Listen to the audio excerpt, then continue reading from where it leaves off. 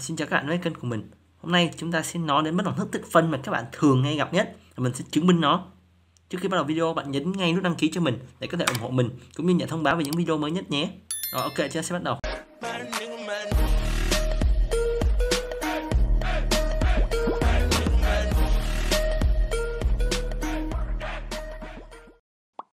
Ở đây, bất đẳng thức này được gọi là bất đẳng thức Cauchy-Schwarz cho tích phân. Ghi từ bài đây.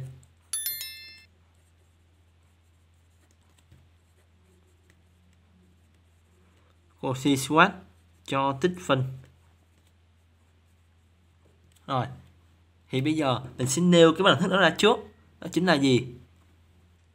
Cho fx và gx là hai hàm liên tục trên đoạn AB.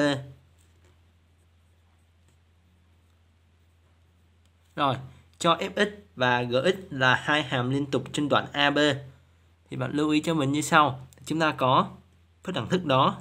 Chính là gì? Mình sẽ phát biểu ra. Đó chính là gì? Tích phân từ a đến b của fx nhân gx dx tất cả bình phương. Thì nó phải bé rộng bằng tích phân từ a đến b của fx tất cả bình phương dx nhân với lại tích phân từ a đến b của gx tất cả bình phương dx. Đây. Thì đây chính là bất đẳng thức của C squat cho tích phân. Rồi, thì đây là một bất đẳng thức rất là dễ gặp trong các bài bất đẳng thức liên quan đến tích phân. Rồi, chúng ta phải lưu ý một cái điều nữa, đó chính là dấu bằng xảy ra khi nào. Thì các bạn lưu ý cho mình, đó chính là gì?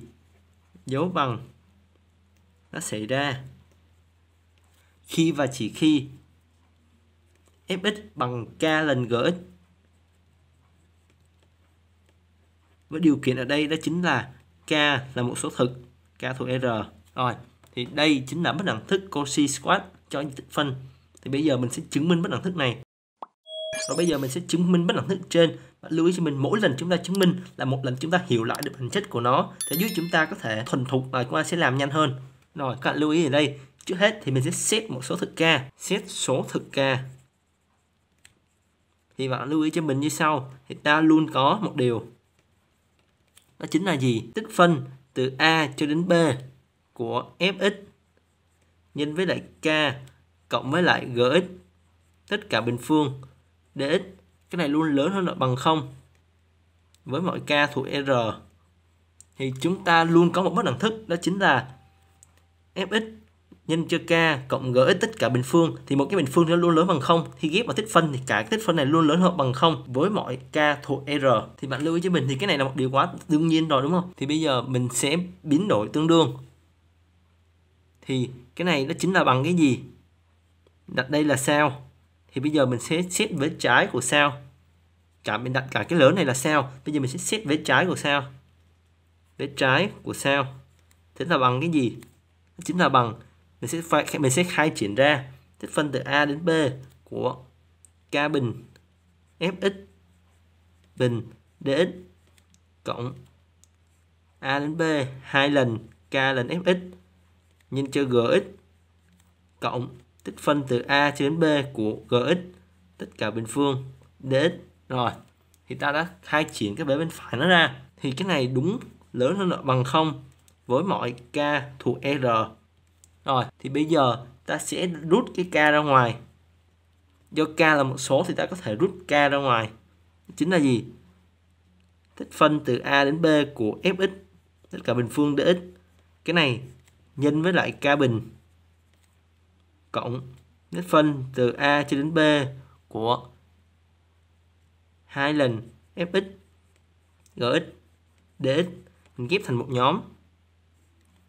Nhân cho k cộng với tích phân từ a đến b của gx tất cả bình phương dx đây là sau khi chúng ta khai triển ra ngoài, thì cái này thì nó luôn lớn hơn bằng không với mọi k thuộc r.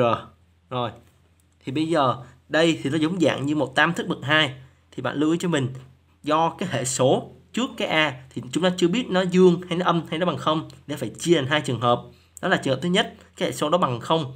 Và trường hợp thứ hai là hệ số đó khác không. Rồi mình sẽ xét trường hợp đầu tiên.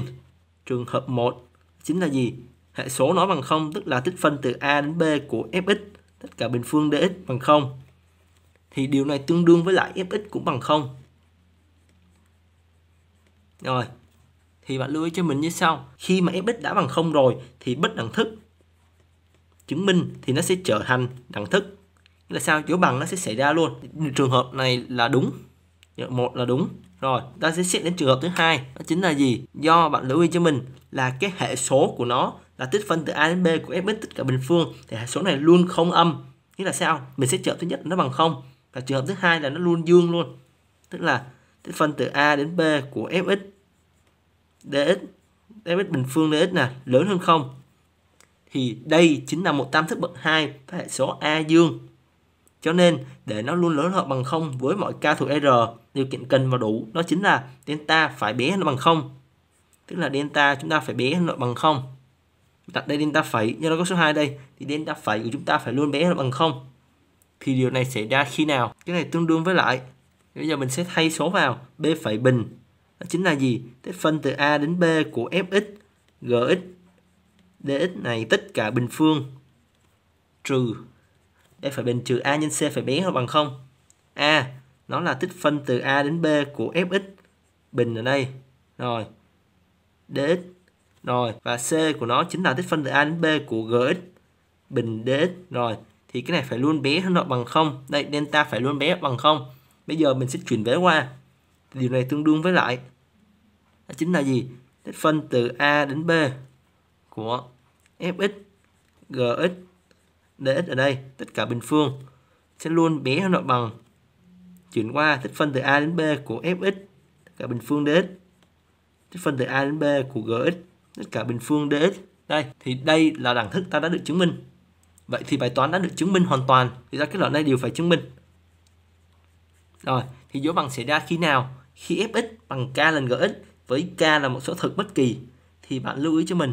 Nó chính là những cái bài toán thì chúng ta nên nhìn nhanh nếu bằng xảy ra khi fx bằng k lần gx đã thuộc luôn. Khi áp dụng nó sẽ rất là nhanh. Rồi cảm ơn đã xem, đã thấy video của mình hay và hấp dẫn thì đừng quên đăng ký, like và chia sẻ video này cho bạn bè của bạn cùng xem ngay nhé. Tạm biệt các bạn.